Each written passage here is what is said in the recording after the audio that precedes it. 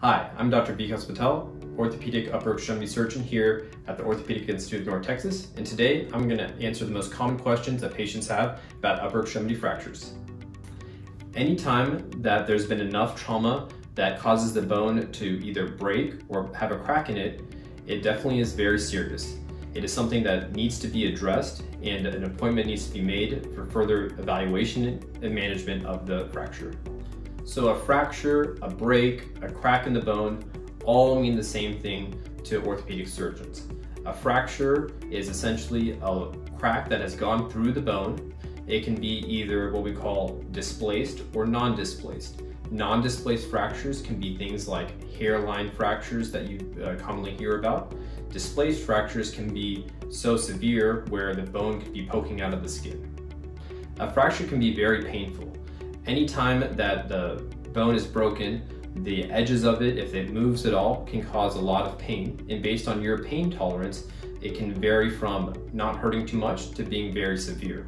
Things like a splint or a cast can be applied to help immobilize the bone and prevent you from moving the joint above and below, so then the fracture does not move and reduces your pain. A fracture is diagnosed by various techniques. The most common thing that we will get is an x-ray. An x-ray can identify most fractures. However, depending on the severity of the fracture or the location of the fracture, advanced imaging like either a CT scan or an MRI may be needed to further evaluate the extent of treatment for the fracture.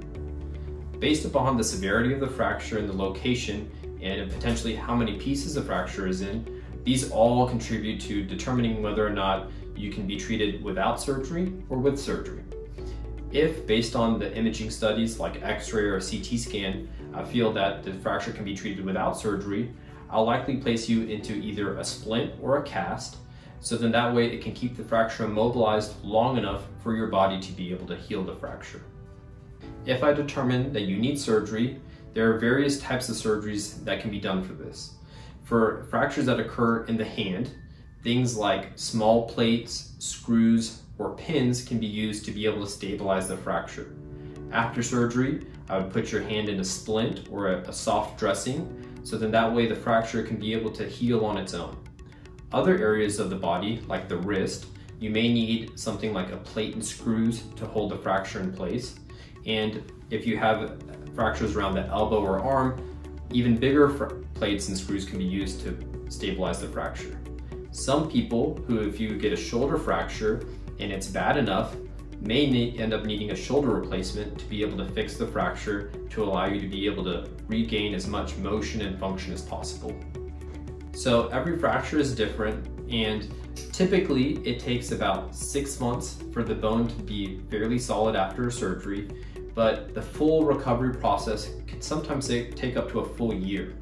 Along the way, I'll follow you along, getting x-rays and making sure that you're heading the right direction and that together we can be able to achieve your goals.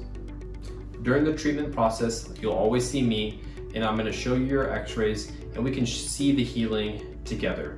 I wanna make sure that together, you and I are gonna be able to have the best recovery as possible and make sure we're going to be able to achieve your goals to get you back moving. If you have a concern or think that you have a fracture, please call and make an appointment today. I'll be more than happy to see you and start the treatment process today.